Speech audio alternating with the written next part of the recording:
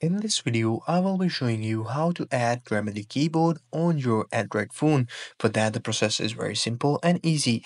So first thing first, what you actually have to do is to download the Grammarly application using your Play Store. Simply go ahead on your Play Store, search Grammarly and install the application. Once you have done that, click on the open button and by doing that, the application will boot up.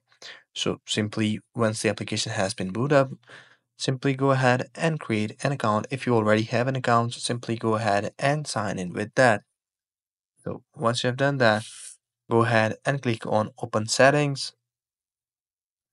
Give the permission that the application requires in order to process it. So once you have done that, simply sign in with your Google account.